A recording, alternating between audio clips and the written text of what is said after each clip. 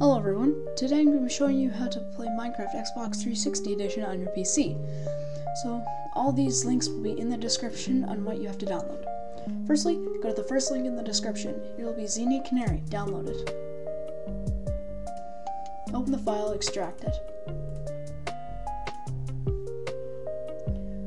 Once it's extracted, close the original file, open Xenia, it'll say Windows protected your PC. It is not a virus, I promise.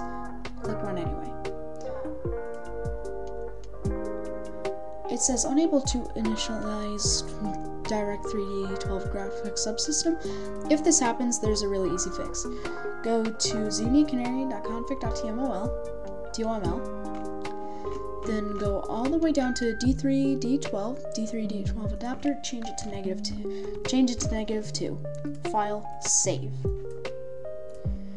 And then as you can see when we open Xenia again, it doesn't crash. Alright, so what you're gonna have to do is download the second link in the description. You're gonna want to download the Minecraft Xbox 360 edition ISO file. And it says Google can't scan this file for viruses. Don't worry, it's not a virus.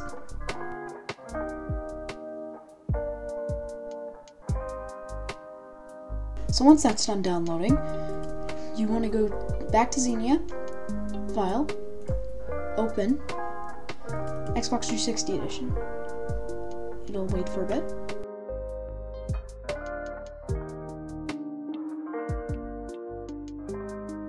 And as you can see, we're playing on Minecraft Xbox 360 Edition. So, if you want to add DLC, if you want to add um, the um, title update, go to install, go um, exit out, exit,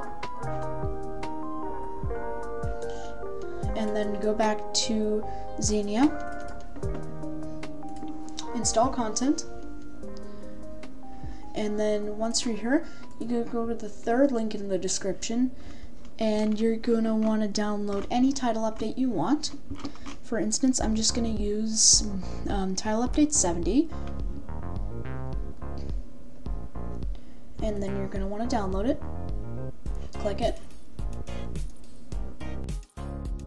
Mine takes way too long, but if you guys have the patience for this, you can go download that for yourself. And go and once you do download it, you can go to file, install content, and then go to your thing. You can just click on your stuff.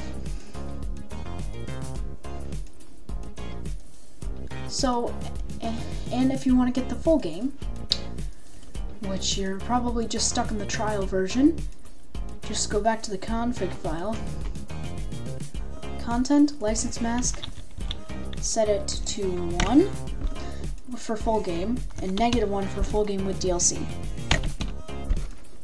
And that's basically how you do it.